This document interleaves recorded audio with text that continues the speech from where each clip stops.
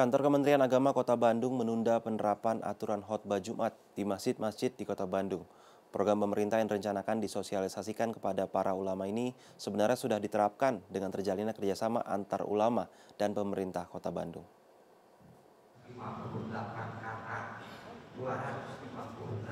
Untuk menjaga toleransi umat beragama, kantor Kementerian Agama Kota Bandung berencana mengatur khotbah Jumat dan mensosialisasikan program pemerintah tersebut kepada para ulama.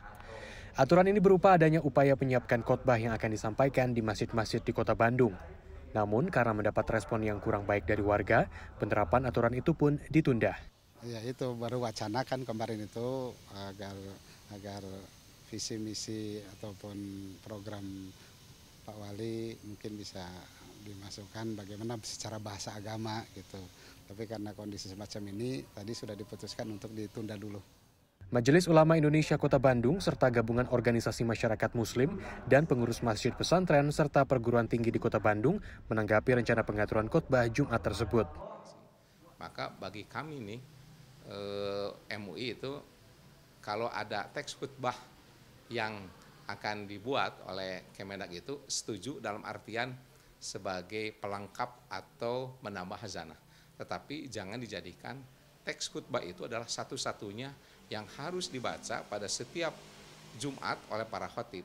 Tetapi... Kerjasama antara ulama dan pemerintah sudah dilakukan di kota Bandung melalui program Katabah atau Kajian Tematik Bandung yang pada 2020 dijadwalkan diselenggarakan empat kali.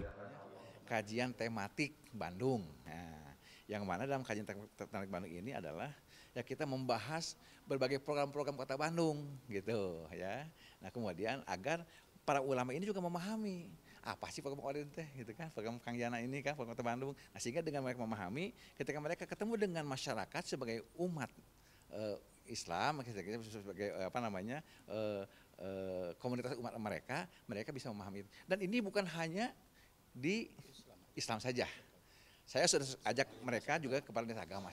Adanya rencana pengaturan khotbah Jumat di Kota Bandung bermula dari pernyataan Menteri Agama Fahrul Razi yang menceritakan pengalamannya mengenai pengaturan khotbah di Arab Saudi dan Uni Emirat Arab. Tim Liputan CNN Indonesia, Bandung, Jawa Barat.